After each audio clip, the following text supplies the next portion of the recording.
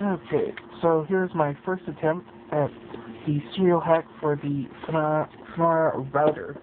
Um, what I've got set up here is very simple.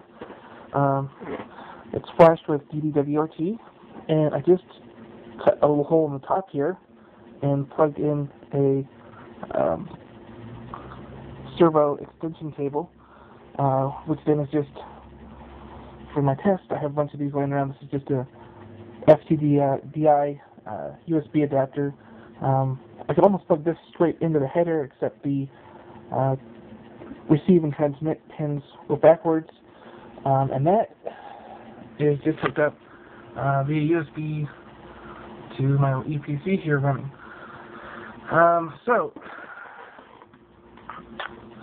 as a proof of concept, um, I have got a SSH connection into uh, the FLAN router, which is connected, uh, that's nice glare, connected uh, to another access point. Um, and so I'm just going to send it an echo string and specify that goes out to ttyS0, which is what the serial port is on the unit. So I'll hit enter here. And as you can see, on my window here, we now have Hello World, you can almost see.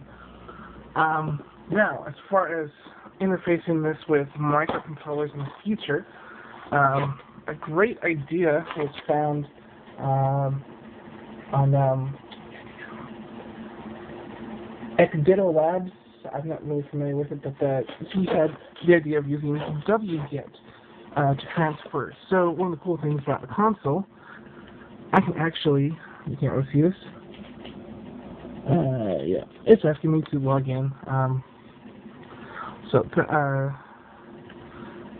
username is going to be root, and then whatever you had set for your administrative password uh, becomes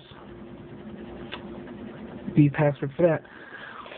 So, if the microcontroller is connected to the serial and logged in, it can potentially pull a resource of data and send data using wget um, and some PHP. So basically, um, we send a PHP, use a, uh, a the post or the get type um, to carry the data. Um, and then if you use the got the commands here that you probably can't see. Um, I'm just going to put in this page it's not going to work here, but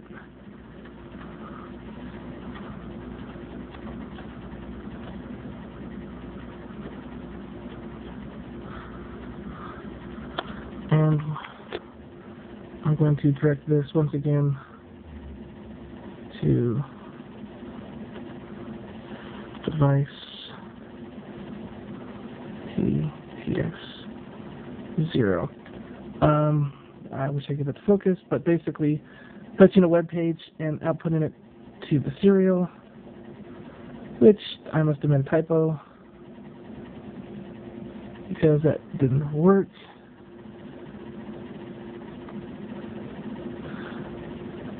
Ah, yeah, I did make a typo.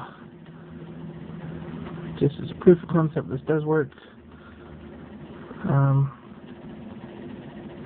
so, basically, it's dumping a rather large web page back into the serial console, uh, which, using some PHP, I can easily control data between the microcontroller and the uh, Fonera via uh, the internet.